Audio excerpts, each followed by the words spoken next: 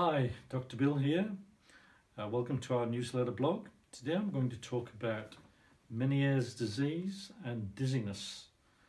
Now, they say that Meniere's disease is to dizziness what migraine is to headaches. In other words, Meniere's disease is often associated with much more severe dizziness, like migraines is much worse than headaches. It's more painful, more severe.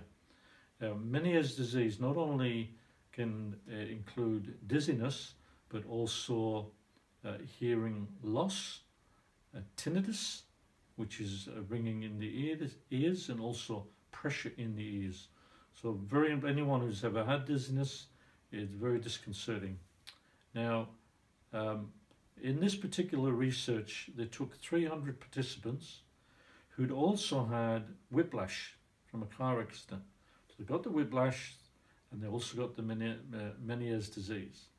And what they found in these 300 participants, that they found that they had what they call a upper cervical subluxation complex.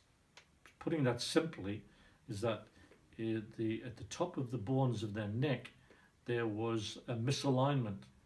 And what's fascinating about this research is that 90% of these 300 participants all had the same vertebra displaced in the same way or misaligned in the same direction, which is quite incredible.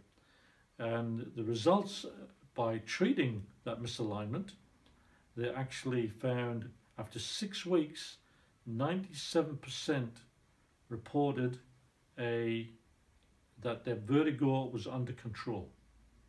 So by correcting that misalignment in the top of the neck, they were able to actually reduce the vertigo significantly on most of the participants.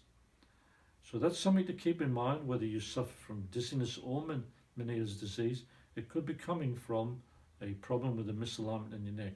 Now there are other, there are other things that can contribute to Meniere's disease. Don't think that because you have dizziness or Meniere's disease, it's got to be coming from the neck.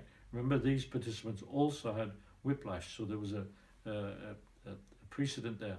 So the other things that can cause Meniere's disease or dizziness is uh, obviously virus. Sometimes if the, your jaw is out of alignment or if the cranium is too tight, they can all contribute to it. So um, I hope that's helpful to any of you who may be suffering from either of these very uh, debilitating conditions or if you know somebody that is, you can pass this information on to them. Dr. Bill signing off. See you on our next newsletter. Thank you. Bye.